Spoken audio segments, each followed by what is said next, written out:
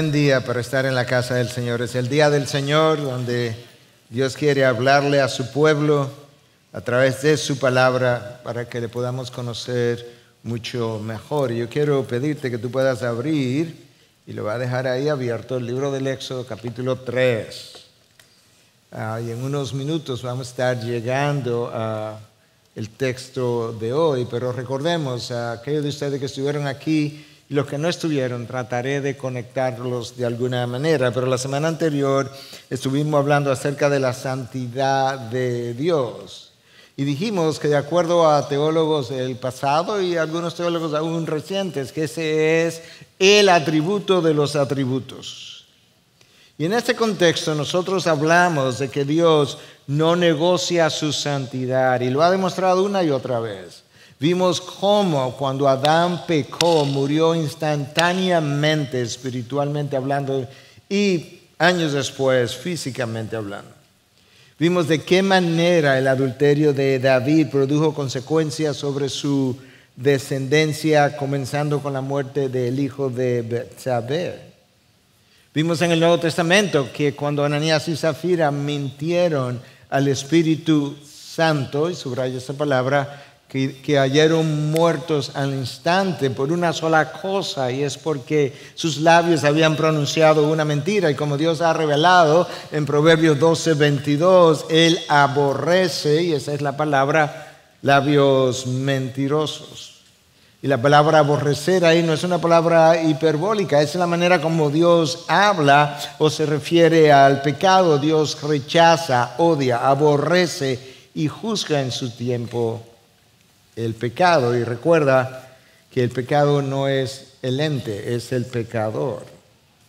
Cuando el rey Usías pecó contra la santidad de Dios en el templo del Señor al ofrecer sacrificio no autorizado, porque era rey y no sacerdote, se llenó de lepra. Cuando Miriam y Aarón también pecaron contra Dios al cuestionar la el, al siervo del Señor, cuestionar la identidad de aquel a quien Dios había ungido para ser su líder, también enfermó Miriam de lepra. Y dijimos de una y, una y otra vez, de forma repetitiva a lo largo de todo el mensaje, que acciones como esas, esas son solo unas ilustraciones, reflejan que Dios no negocia su santidad, la muerte de Adán, la muerte del segundo Adán en la cruz, la muerte de aquellos que hoy están en el infierno o mañana, muestran, ponen en evidencia claramente que ciertamente nuestro Dios no negocia dicha santidad. A través del profeta Nahum, en 1.3, el Señor reveló, ciertamente el Señor no dejará sin castigo al culpable o no tendrá por inocente al culpable. Y al considerar todo lo que dijimos la semana anterior acerca de la santidad de Dios, yo voy a usar una frase de, de William Wilberforce en otro contexto, completamente diferente, simplemente para ilustrar algo que quiero decir. Pero William Wilberforce, antes de que el Parlamento inglés tomara el voto para ver si se abolía la esclavitud o no, Dijo, puedes elegir mirar para el otro lado, pero jamás podrás decir que no lo sabías. De esa misma forma. Después de haber escuchado el mensaje del domingo pasado, haber escuchado quizá otros mensajes, después de haber leído en la misma palabra acerca de esta santidad y cómo Dios la honra, podemos ignorar la santidad de Dios y su justicia, pero jamás podremos decir que no lo sabíamos. Que Dios no negocia su santidad. Hermanos, una vez más, tratando de conectar con el mensaje de hoy, nosotros no tenemos idea de la pureza de la santidad de Dios ni de lo perverso de nuestro pecado. Dicho de otra forma, no tenemos idea de cuán moralmente puro Dios es, ni cuán perversamente impuros nosotros somos. De hecho, si estuviéramos conscientes de ambas cosas, estaríamos de acuerdo con todos y cada uno de los juicios de Dios. Y si esa palabra perverso, perversamente te suena, te suena como extrema, radical, la única razón es justamente que no tenemos idea de cuán oscuro nuestro pecado es. Era una palabra común, corriente en la época de los puritanos. Era quizás la forma más común de ellos a referirse, una de las formas más comunes para referirse al pecado nuestro. Dios es moralmente puro en su esencia y completamente separado en su existencia. Dado todo lo anterior y lo especial que ese Dios Santo es, yo quise en el día, o quiero en el día de hoy, que podamos hablar del Dios incomparable. Yo soy.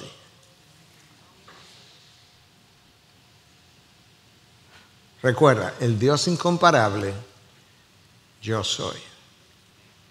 Yo quiero usar dos versículos de la palabra de Dios con los cuales debe estar familiarizado, probablemente la mayoría o todos, porque es, estos dos versículos hablan de un momento cuando Moisés se encuentra con Dios en el desierto, donde Moisés se va a acercar rápidamente a la salsa ardiendo de donde Dios le está hablando y Dios le dice, Moisés, quítate las sandalias porque el lugar que tú estás pisando es tierra santa y ahí Dios entonces le da la encomienda de que regrese a Egipto y traiga a su pueblo al desierto para que me adore o para que me sirva, dependiendo de la traducción. Moisés no está seguro, de hecho, está temeroso de volver allá y en su temor le dice, versículo 13, Éxodo 3, si voy a los israelitas y les digo, el Dios de tus padres me ha enviado a ustedes, tal vez me digan cuál es su nombre. El, nombre en el contexto de hebreo es, es vital. ¿Qué les responderé? Dijo Dios a Moisés, yo soy el que soy. Y añadió, así dirás a los israelitas yo soy, me ha enviado a ustedes.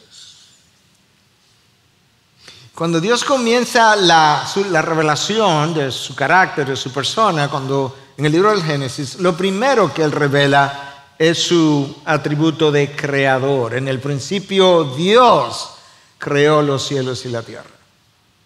Pero cuando Dios comienza a revelársela a Moisés para convencerlo de que regrese a Egipto, el primer atributo que Él le revela es su santidad. Quítate las sandalias porque el terreno que estás pisando es tierra santa y así Moisés hizo. Pero el segundo atributo que Dios quiso revelarle a Moisés después que le reveló a su santidad es este atributo que está detrás de su nombre. Yo soy el que soy.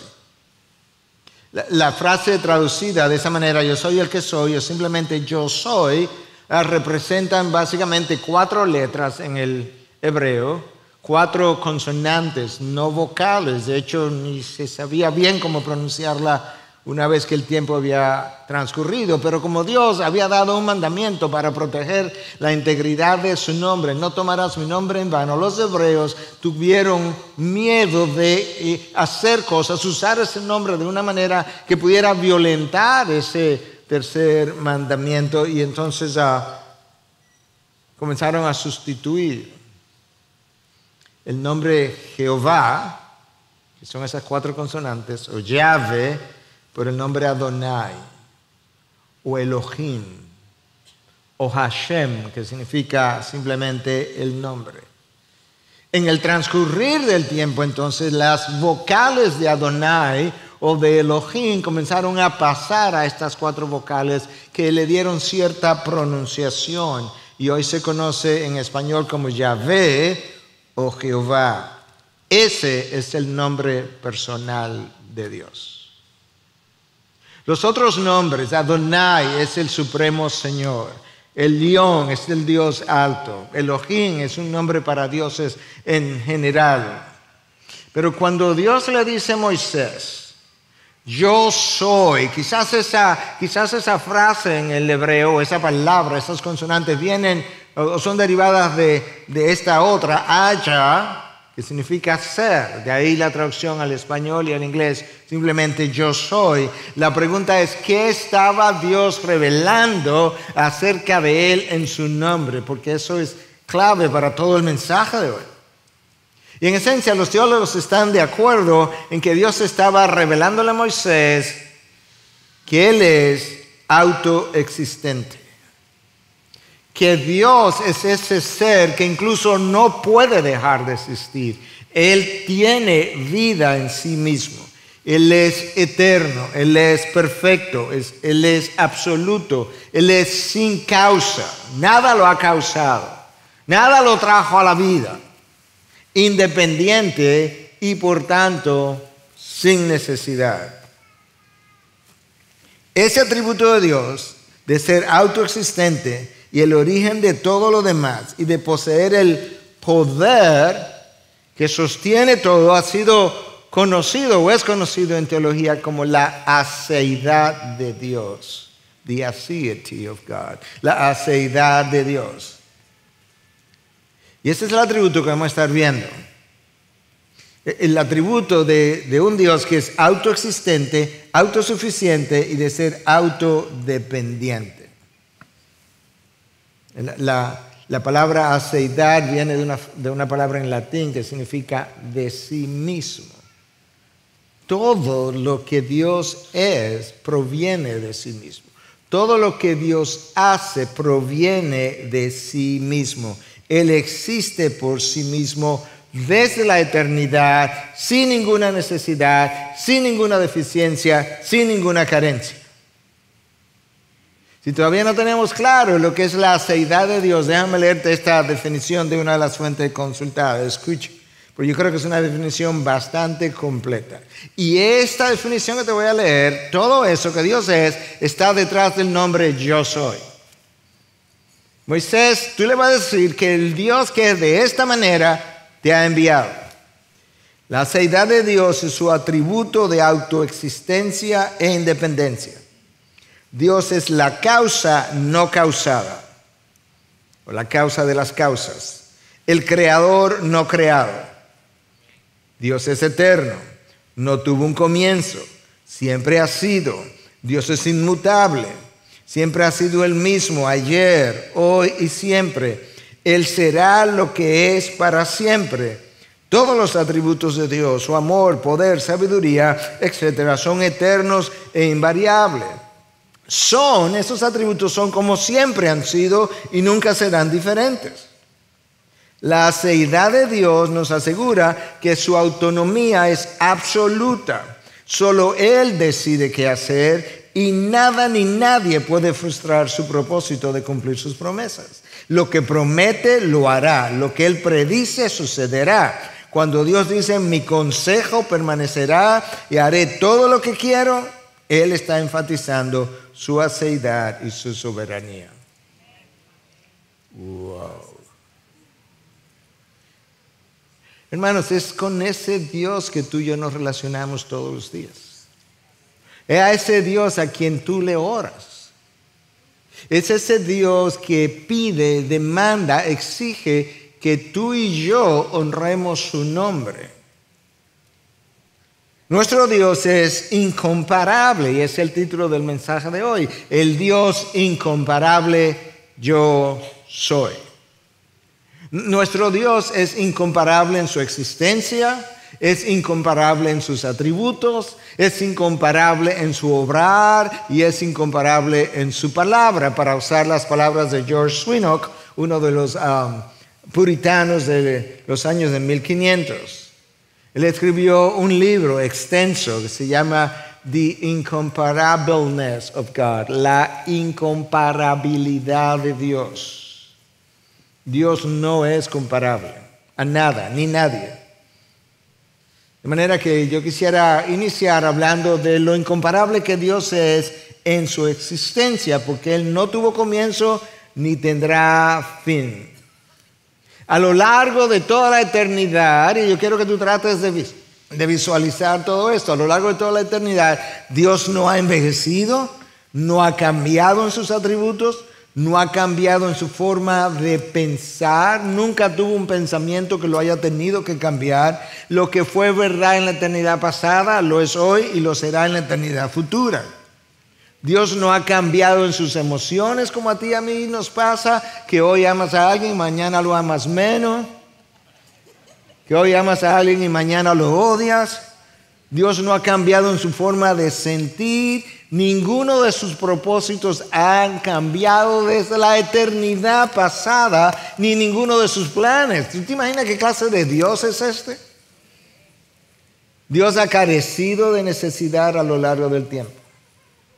De hecho, eso fue exactamente lo que Pablo le dijo a los atenienses cuando él fue allá al Areópago y se encontró con filósofos, con los estoicos, con los epicúreos, o epicureos, no sé ya en español cómo se dice, pero Ah, con ellos mismos. Pablo dice, yo veo que usted tiene una cantidad enorme de dioses, podemos presentarte el único Dios. Hechos 17, 24, 25. El Dios que hizo el mundo y todo lo que en él hay, puesto que es Señor del cielo y de la tierra, no mora en templos hechos por manos de hombres, ni es servido por manos humanas como si necesitara algo, puesto que Él da a todos vida y aliento y a todas las cosas. Dios presenta a los atenienses a nuestro Dios como creador. Él hizo todas las cosas y todas las cosas que en Él hay. Y de ese creador, Pablo dice dos cosas. Él es Señor sobre todo lo creado. Y no solamente Señor sobre todo lo creado, sino que ese Dios no puede ser contenido por lo creado, porque Él existe fuera de la creación. Siendo Señor del cielo y de la tierra, no habita en templos hechos por manos humanas. Él no puede ser contenido. Mira cómo Salomón en 1 Reyes 8:27 lo dice todavía mucho más claro. Pero morará verdaderamente Dios sobre la tierra. He aquí los cielos y los cielos de los cielos no te pueden contener, cuanto menos esta casa que yo he edificado. Esto es un Dios completamente diferente a, los ídolos que el, mundo pagano y hoy en día muchos tienen, que son puestos en un altar y que están contenidos en un lugar. Salomón dice, no, es que Él no puede ser contenido. Esa es la infinidad de este Dios. Un Dios que es infinito, un Dios que es eterno, un Dios que habita fuera del tiempo y del espacio. En otras palabras, Dios no puede ser estudiado a través de la ciencia. ¿Sabe por qué? Porque la, ciencia existe para estudiar las leyes dentro del tiempo y del espacio, pero resulta que Él no, él no vive ahí, él, él habita fuera de ahí. Yo puedo estudiar lo que Él reveló, pero eso es otra cosa. E, el universo no existió siempre, mi hermano. Ni, tampoco existió y, y, luego apareció y le dio y tomó forma porque una fuerza impersonal le dio forma. No, el universo fue creado por la palabra de Dios. Dios habló y el universo se creó. E, ese Dios creador, infinito y Señor sobre todo lo creado, es autosuficiente. Pablo solo dijo, lo está teniendo. Escuche, versículo 25. Ni es honrado por mano de hombres como si necesitase algo. Dios no necesita nada, absolutamente nada. Tú y yo necesitamos todo. Necesitamos sueño, necesitamos agua, necesitamos alimento, necesitamos descanso, necesitamos que alguien nos ame, necesitamos a alguien para amar, necesitamos que nos llenen el tanque de nuestras emociones. Si nos rechazan nos sentimos mal, si nos aprueban nos sentimos bien. Dios no siente nada de eso. Él es perfecto en sí mismo, completo en sí mismo, satisfecho en sí mismo. Él no tiene necesidades.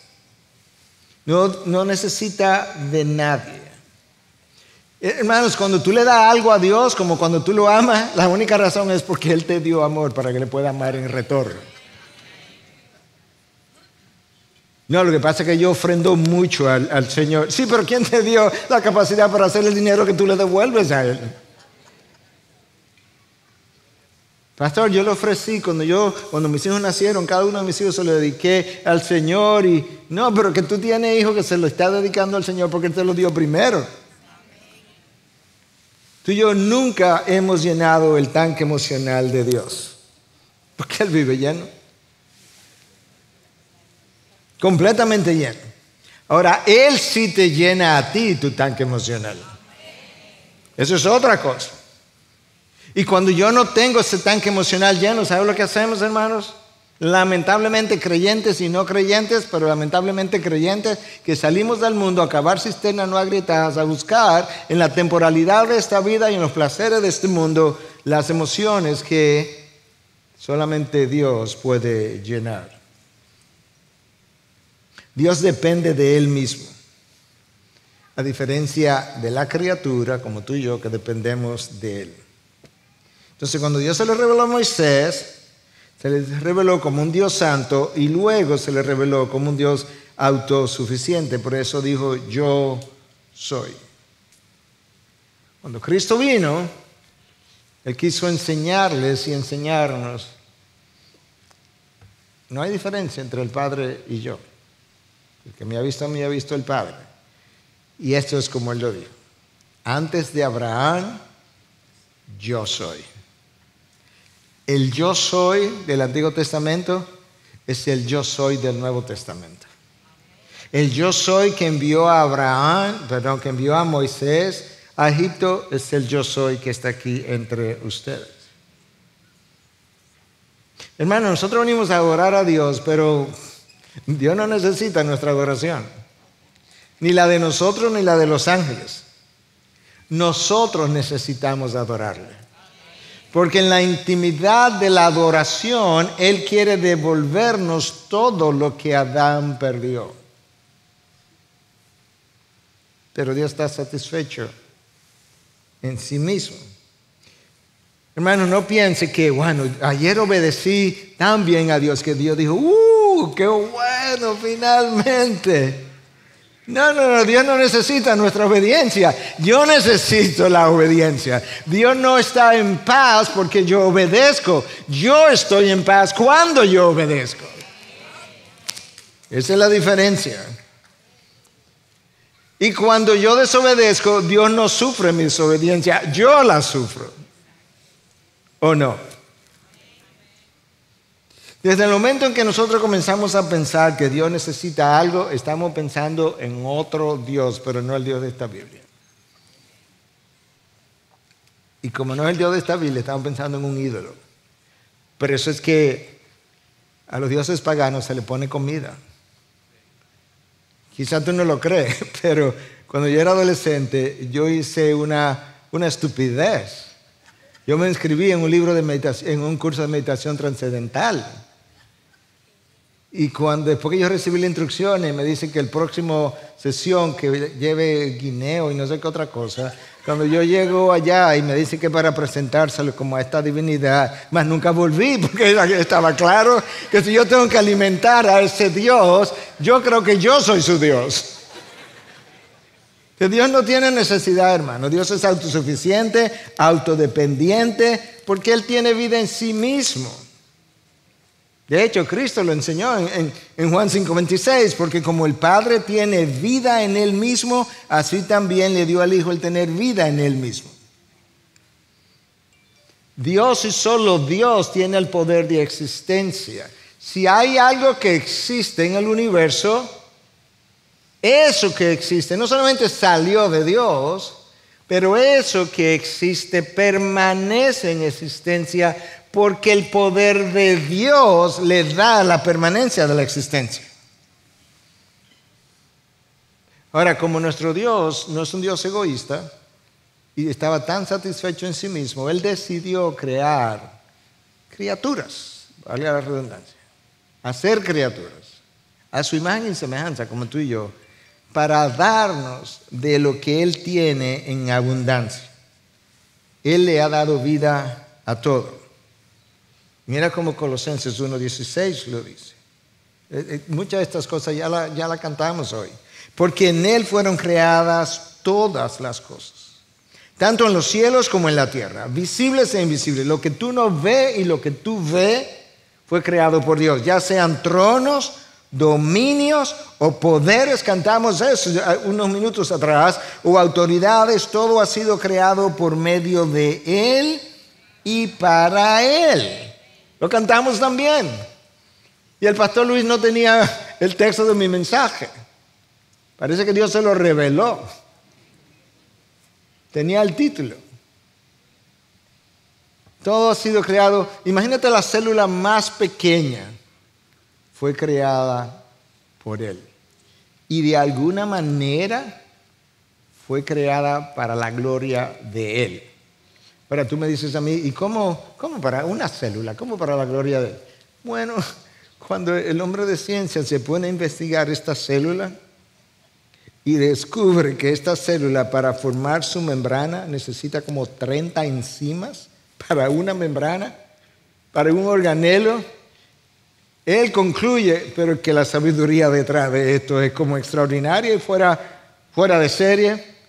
Dios le enseña a los sabios a través de células microscópicas, imagínate a través del resto del universo.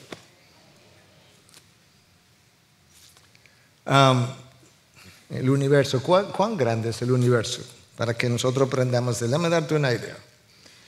El número mil tiene tres ceros. Eso es fácil, ¿verdad? Diez mil tiene cuatro ceros, cien mil tiene cinco ceros, un millón tiene seis ceros, un billón tiene nueve ceros, un trillón tiene doce ceros. Pero estaba leyendo que la ciencia recientemente ha estimado que probablemente nosotros tenemos 200 billones de trillones de astros en el universo. ¿Cuántos ceros son esos? 200 seguido por 21 ceros. Tú ni sabes contar hasta ahí.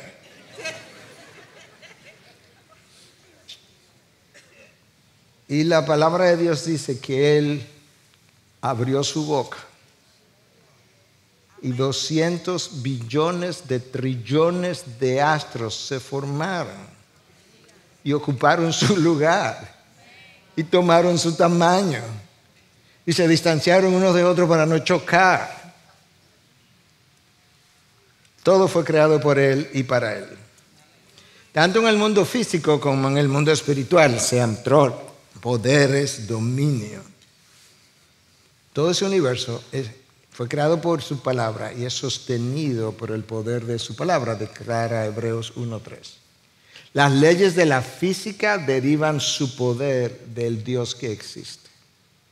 Si dejas caer algo aquí, se cayó por la fuerza de la gravedad, la fuerza de la gravedad existe porque hay alguien con el poder de existencia que le da contenido, propósito, dirección a la fuerza de la gravedad.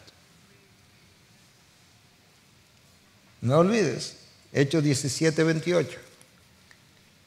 Un poco más adelante de las palabras que Pablo había pronunciado. Él dice que en Él vivimos, nos movemos, nos movemos y existimos. Hermanos, tú y yo no tenemos ninguna independencia. Eso fue lo que Adán, el problema de Adán, que él quiso hacerse autónomo. No, Adán y, el resto de la creación no puede ser autónoma. ¿Cómo podemos tú y yo querer ser autónomos si en Él nosotros vivimos, nos movemos y existimos? Compara eso con Dios que existe por sí mismo, vive por sí mismo y se mueve de acuerdo consigo mismo.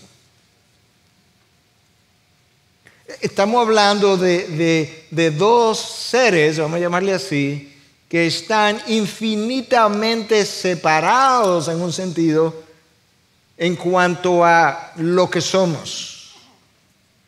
Cuando Dios le dice a Moisés, Moisés le dice, ah, por cierto, ¿cuál es tu nombre?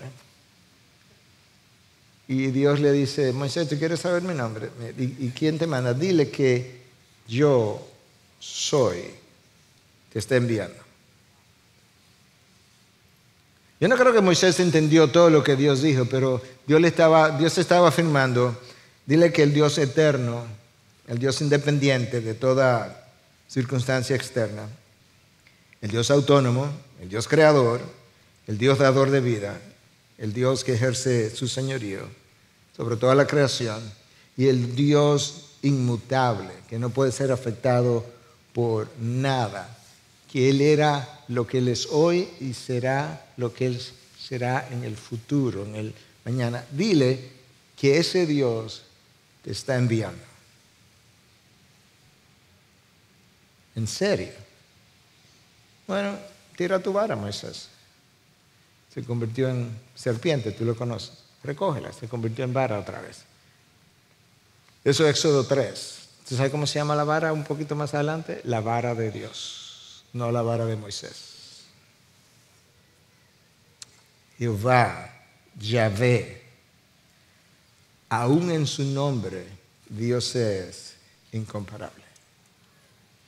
Es ese nombre, por todo lo que representa, que Dios dice, honralo, obedécelo, santifícalo. Escucha lo que él le dice, lo que Moisés le dice al pueblo antes de entrar a la tierra prometida en Deuteronomio 28, 58. Si no cuidas de poner en práctica todas las palabras de esta ley que están escritas en este libro, escucha ahora, temiendo este nombre glorioso y temible, el Señor tu Dios. La palabra traducida ahí como el Señor está todo en mayúscula, lo que implica que ahí el nombre que aparece es Jehová, Yahvé o Yahweh, tu Dios. Si tú no, creces de una manera que puedas temer este nombre, que es glorioso, tú vas a tener problemas. El nombre es glorioso porque representa mi esencia, dice Dios. Y el nombre es algo temible en dos sentidos. Debo temerle en el sentido de reverenciarlo, de no usarlo en vano, de no pisotear lo que el nombre de Dios es con mi vivir. Y por otro lado, es temible porque cuando le perdemos el respeto al nombre de Dios, le perdemos el temor a Dios. Y como bien ha dicho Henry Blackaby en uno de sus libros, yo te lo he mencionado otras veces, pero déjame repetirlo, cuando tú le pierdes el temor a Dios, tú le pierdes el temor al pecado. Cuando tú le pierdes el temor al pecado, Dios se aleja de ti, aleja su presencia manifiesta. Pero el cristiano, de quien Dios se ha alejado, continúa yendo a la iglesia. Y como continúa yendo a la iglesia, sus actividades religiosas, todo esto de Blackaby, sus actividades religiosas le hacen creer, lo convencen de que Dios no se ha apartado de él.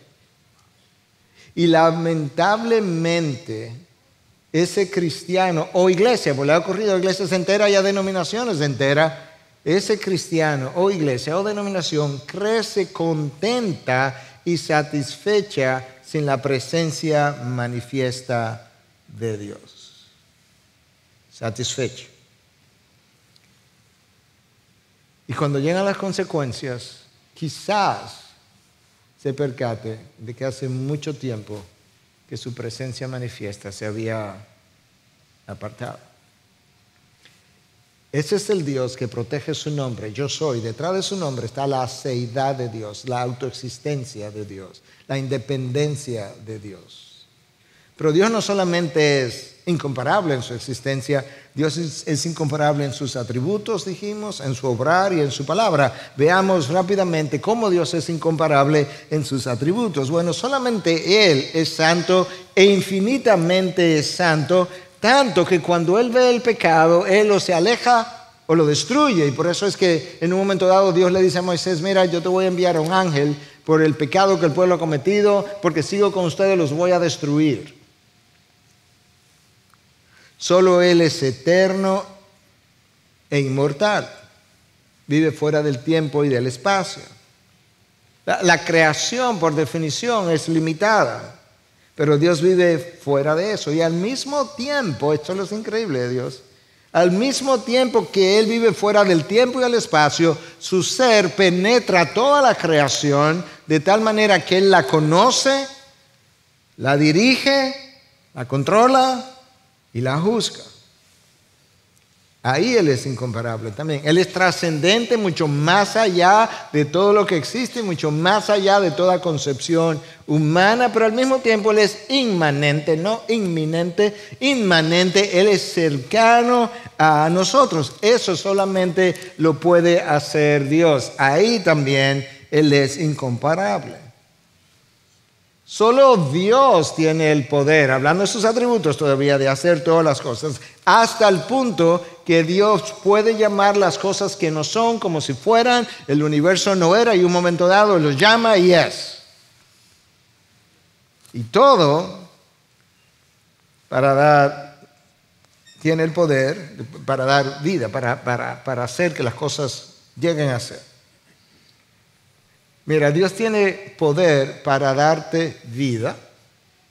Dios tiene el poder para quitarte la vida y tiene el poder para devolvértela en, en, la resurrección. ¿Tú puedes creer eso? Te la da, te la quita y te la devuelve resucitándote. Eso afirmó Cristo en Juan 5:21. Pero Él no solamente es incomparable en su poder, estamos hablando de sus atributos, Él es incomparable en su omnisciencia. Escucha cómo el salmista, inspirado por Dios, en el Salmo 139, versículo 1 al 4, cómo concibe la omnisciencia de Dios. Oh Señor, tú me has escudriñado y conocido. Tú conoces mi sentarme y mi levantarme. Tú no te acuerdas ya de qué lado de la cama te levantaste, Dios sí. Desde lejos comprendes mis pensamientos. Tú escudriñas mi senda y mi descanso y conoces bien todos mis caminos. Aún antes de que haya palabra en mi boca, oh Señor, ya tú la sabes toda. Él conoce todas las camas en las que yo he dormido. Él conoce todas las sillas en las que yo me he sentado. Conoce incluso cómo me acosté y cómo me desperté. ¿Y con quién?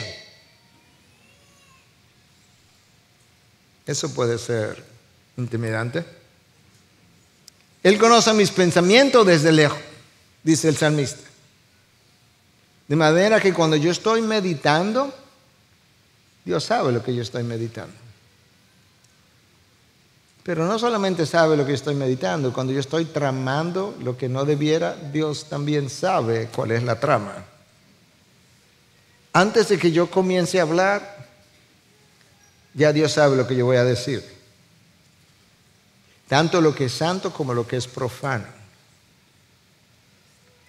Dios es incomparable en su omnisciencia, Dios es incomparable en su omnipresencia. El salmista dice, versículo 7, Salmo 139, ¿a dónde me iré de tu espíritu? ¿A dónde huiré de tu presencia? Si subo a los cielos, allí estás tú. Si en el Señor preparo mi lecho, allí tú estás. El Señor conoce cada lugar donde yo he estado y para donde yo voy, dónde estaré incluso en cada lugar, cómo yo llegué ahí y cómo voy a llegar para donde quiero ir en un mes o en un año, en un día, en el tiempo que sea. ¿Qué clase de Dios es este? Incomparable.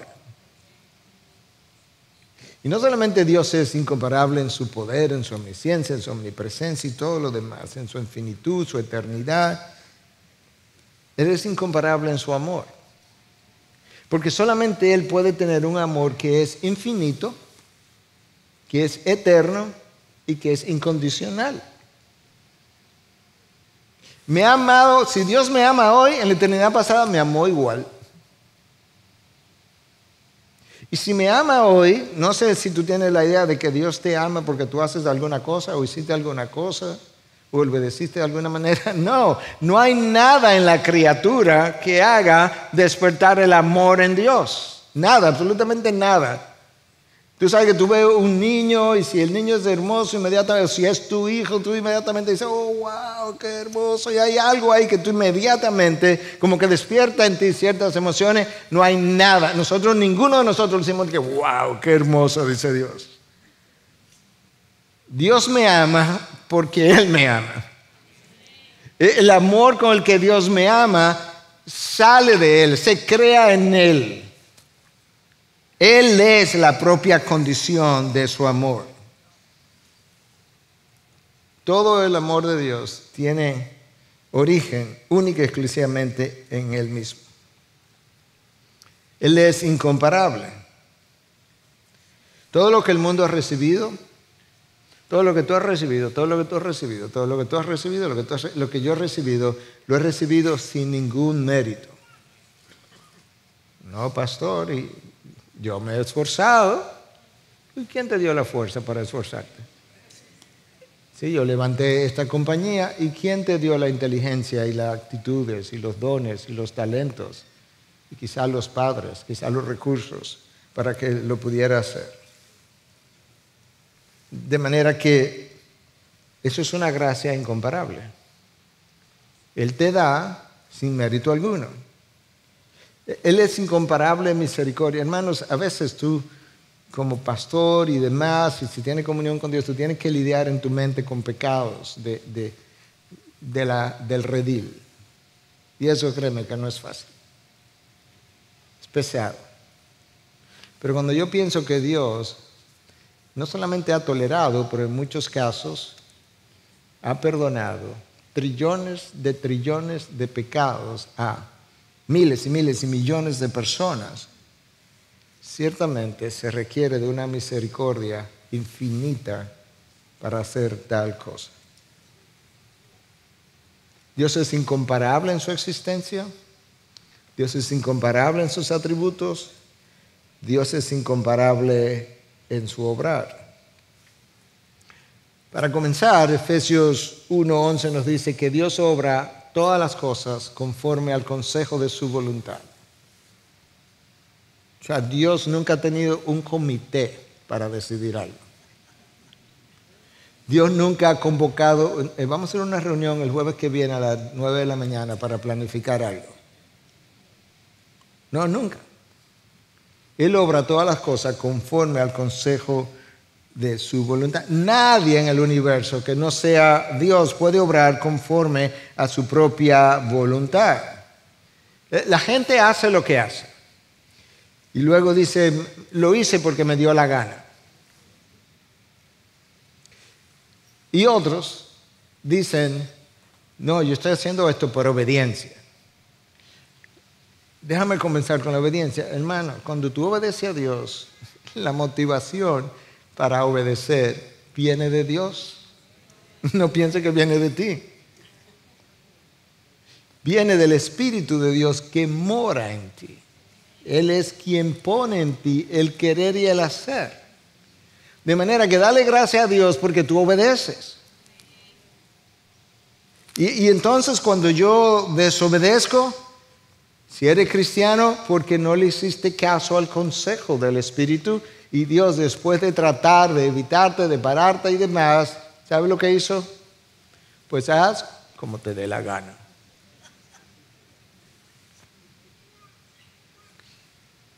Pero hermanos, la manera de consejo y de advertencia, lo peor que a ti y a mí nos puede ocurrir es que Dios nos deje hacer lo que nos da la gana.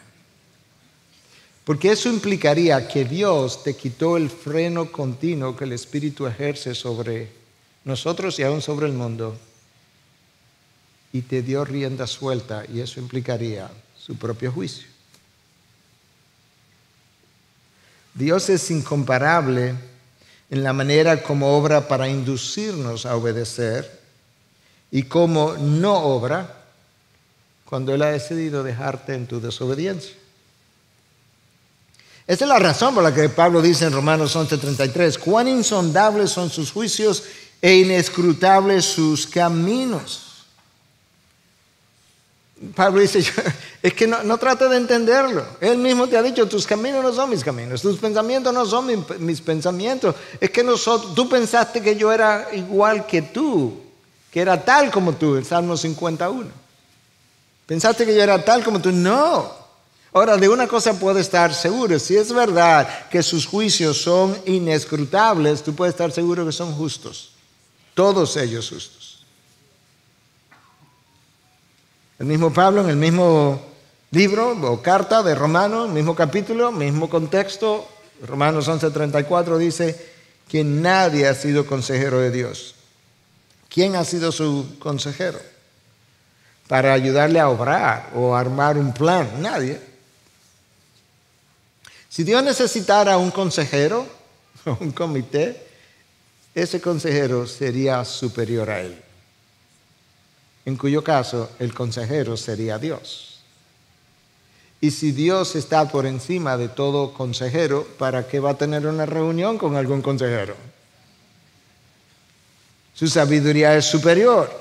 Por eso Él obra de manera independiente. No es que Él es medalaganario, no es que Él es un, un, ¿cómo se llama? Un tirano. No, no, no. Es que no hay nadie que piense mejor que Él, más puro que Él, con más amor que Él, con más misericordia que Él, con más gracia que Él. ¿Para qué te voy a llamar? Para que dañe mis planes. A la hora de obrar, Daniel 4:35 me informa que nadie puede estorbar sus planes ni cambiarlos. Son tan inmutables que son eternos. Él pensó esto en la eternidad pasada. Lo que él se propuso en la eternidad pasada lo sigue llevando a cabo hoy y lo seguirá llevando a cabo hasta el final. Él está en su trono y él hace lo que le place. Salmo 115.3. Dios es incomparable en su obrar. Pero todavía dijimos algo más y es que Dios es incomparable en su palabra. Cuando Él habla. Este autor, teólogo John Frame, en su obra La doctrina de la palabra de Dios, nos dice, cuando nos encontramos con Dios, nos encontramos con su palabra. No podemos encontrarnos con Dios sin su palabra o la palabra sin Dios. La palabra de Dios y su presencia personal son inseparables. Lo, que Frame está expresando es que la palabra de Dios refleja lo que Él es. El universo es sostenido por Dios, pero ¿sabe cómo lo dice Hebreos 1.3? que es sostenido por el poder de su palabra, como si no hubiera diferencia. Cuando nos habla de lo que la palabra hace, Hebreos 4.12 dice que la palabra de Dios es viva y eficaz y más cortante que toda espada de dos filos, penetra hasta partir el alma y el espíritu, las coyunturas y los suétenos y discierne los pensamientos y las intenciones del corazón. Ahí Dios está personificando su palabra. Mi palabra discierne, pero es Él que discierne. Los pensamientos y las intenciones del corazón, porque no puedes separar a Dios de su palabra. En la nueva versión internacional, la, la palabra eficaz es traducida como poderosa. Su palabra es poderosa. Cuando Dios habló, creó todo el universo del cual te describí anteriormente. Y Dios habla y las cosas suceden. Su palabra es poder para crear. Ahora, de nuevo, cuando estamos hablando del poder de la palabra de Dios, no estamos hablando de una fuerza, como que Dios habló y el universo se formó y ahora las cosas no sabían qué hacer. No, no estamos hablando de otra cosa. Su palabra tiene contenido, tiene significado y tiene propósito. Cuando Dios dice en Génesis 1.9, júntense las aguas que están debajo de los cielos, las aguas no salieron corriendo y se formó un caos de agua sin saber qué iba a pasar. Ellas comenzaron a separarse para que lo seco apareciera y sabían dónde detenerse. Eso es, eso es una palabra con poder, pero eso es una palabra con contenido, con significado, con propósito. Cuando Dios dijo en Génesis 1.11, produzca la tierra vegetación, los árboles no salieron corriendo y ahora, ¿dónde que nos vamos a plantar y arraigarnos? No, no, ellos sabían dónde se iban a plantar y arraigarse, en qué terreno. Porque la palabra de Dios es incomparable en poder, en contenido, en significado, en propósito. Cuando Dios dice en Génesis 1, 14, fórmense las lumbreras, el sol y la luna. El sol sabía de qué tamaño iba a aparecer y la luna también. Y a qué distancia iban a estar. De manera que cuando Dios habla, de Él sale una palabra con poder, capaz de crear lo que Él concibe en su mente. Entonces, esa es la mejor forma de pensar. Dios piensa algo, yo tengo un pensamiento, yo lo hablo y así mismo se produce. Esa es la razón porque la palabra de Dios dice, ah, en el Antiguo Testamento Dios dice, Isaías 55, mi palabra nunca regresa vacía sin lograr el propósito para la cual salió. Si digo que las lumbreras se creen, ella no va a regresar a mi vacía y no hay sol ni hay luna. No, no, eso no es, eso no es una posibilidad. Así será mi palabra que sale de mi boca. Dios es incomparable en su existencia, en sus atributos, en su obrar y ahora en sus palabras. Dios habló, el caos cobró orden, la luz apareció, las aguas se separaron, la tierra produjo plantas y frutos, las aguas se llenaron de vida, la tierra produjo, todo tipo de animales. Es una palabra con autoridad. No puedes desafiar su palabra. O tú la puedes desafiar. Déjame decirlo otra vez, no la puedes desafiar sin sufrir consecuencias. Nabucodonosor trató y perdió la razón por siete años. Su palabra es poder sin límites. Tiene autoridad y poder sobre todo lo creado. Su palabra es luz, de acuerdo al Salmo 119, versículos 104 y 105. Su palabra es verdad, es fiel, es pura, es verdadera, es justa, es segura, de acuerdo al Salmo 19. ¡Wow! La puedes leer y la puedes seguir. Y la razón por la que la puedes seguir es porque es verdad, es luz para guiarte, es verdadera, es justa, es perfecta, es pura. Esta palabra tiene profundidad para que un elefante nade en ella,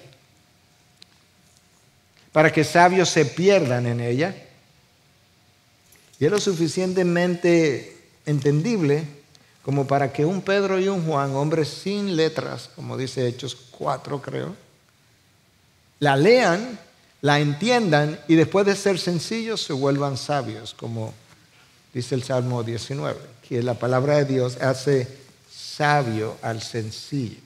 Tú, estás oyendo lo, lo, incomparable que es esta palabra. E, la palabra de Dios tiene poder para calmar la tormenta. Lo vimos en la vida de Jesús.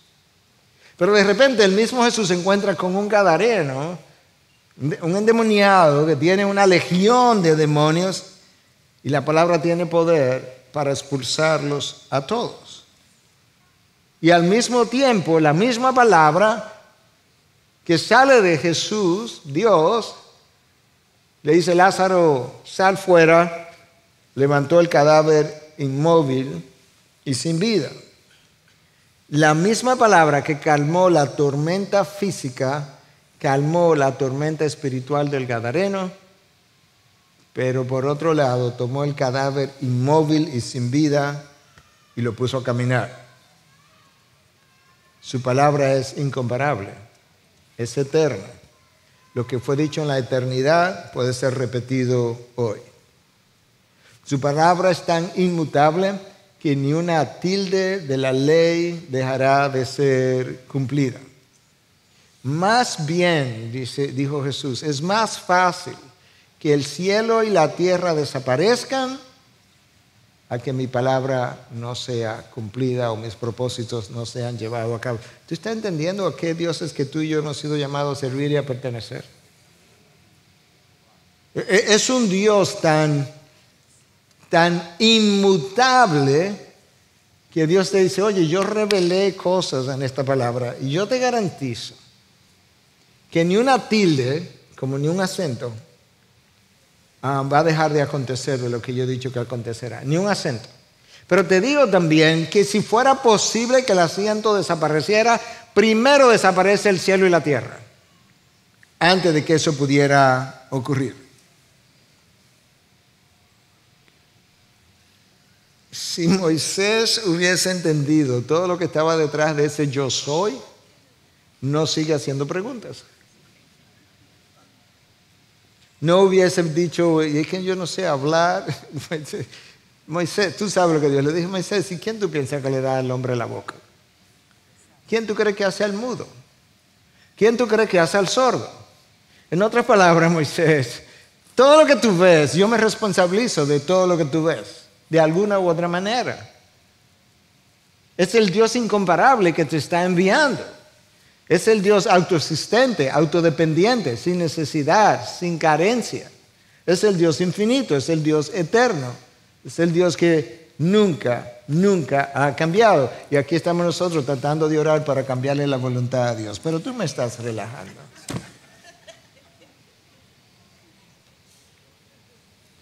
La única persona que supo cómo orar correctamente fue Dios. Porque conocía la inmutabilidad de la voluntad de la Trinidad. Y no solamente conocía la inmutabilidad de la Trinidad, sino que conocía la imposibilidad de que otra voluntad humana pudiera ser mejor o superior. Y es por eso que le dice, mira, Padre, aquí en mi humanidad, recuerda, Cristo tenía una naturaleza humana y una divina, aquí en mi humanidad, yo te pido que haga pasar esta copa de mí, pero sabes que en mi otra naturaleza que yo siempre he disfrutado y compartido contigo, yo sé, yo sé, al final lo que tiene que pasar es que se haga tu voluntad y no la mía. Porque Dios no puede cambiar su voluntad. De cambiarla, él no sería perfecto, porque hubiese tenido en mente una voluntad imperfecta que de repente cuando tú le informaste en la oración de algo, uff, Miguel, es que yo no sabía eso que tú me acabas de decir. Voy a, voy a hacer esto entonces. En ese caso, déjame cambiar lo que iba a hacer. No, eso somos tú y yo. De hecho, es una irreverencia, quizá Dios lo tome simplemente como una ignorancia, pero es una irreverencia pedirle a Dios que se haga mi voluntad y no la de Él. No importa las cosas que hayan acontecido en mi vida. Recuerda algo que Tim Keller dijo y que el pastor Chacho citó no hace mucho aquí desde este púlpito. Preocuparte por el día de mañana es pensar que Dios no lo hará bien y la amargura por lo de ayer es pensar que Dios se equivocó en el día de ayer. Ni una cosa ni la otra. Hermanos, tú sirves a un Dios incomparable. Tú eres hijo de un Dios incomparable. Tú estás asegurado por un Dios incomparable. Él te dio una palabra incomparable, infinitamente poderosa. Él puso su Espíritu Santo a morar en ti con, con poder infinito para garantizar que tú llegues hasta la meta. Él te ha amado con amor eterno, con amor infinito, con amor incondicional ese mismo Dios te ha perdonado oh, miles y millones de veces a lo largo de tu vida y todavía dudas de ese Dios extraordinario, autoexistente, que te da la vida y que cuando te mueras te dice, no te preocupes, que te voy a resucitar. Y después que, bueno, te voy a hacer corredero con mi hijo y después que vivirás la eternidad como corredero de mi hijo y estaremos juntos por el resto del tiempo de existencia que es para siempre. Padre, gracias. Gracias porque tú eres un Dios incomparable. Gracias porque tú eres tan incomparable que tomaste un nombre, dos palabras en nuestro idioma, yo soy, y le pusiste todo el significado que nos pasó, nos tomó una hora poder desempacar y no terminamos. Hasta ahí tú eres incomparable. Dios, gracias porque tú, tú nos hablas, vuelve y nos habla nos revisa, nos edifica, nos corrige. Yo te pido en esta mañana, Dios. Yo te pido, Señor, que conociendo, conociendo cómo nosotros somos, que no se nos ocurre, después de escuchar todo lo que tu palabra dice, y cortos nos quedamos, trivializarte en poco tiempo y que el resto de este día o el resto de la semana yo no vuelva a pensar de la incomparabilidad, si pudiera usar la palabra, de Dios para honrar tu nombre que tú llamas glorioso y temible. Señor, ayúdanos a, cantarte ahora. Y en vez de, de aplaudir Dios, ayúdanos a cantarte, todavía reflexionando para que al cantar nosotros podamos todavía ser asombrados por lo que tú tengas que decirnos a través de la canción. Y ayúdanos a adorarte, porque aún la capacidad para adorarte y tener intimidad contigo es de ti que viene y eres tú quien la produce. En tu nombre Jesús. Amén. Gracias por acceder a este recurso. Espero que haya sido de gran bendición para tu vida. Te sugiero que te suscribas a este canal de forma que tú puedas recibir notificación la próxima vez que hayamos subido un nuevo recurso que pueda servirte de instrucción y bendición.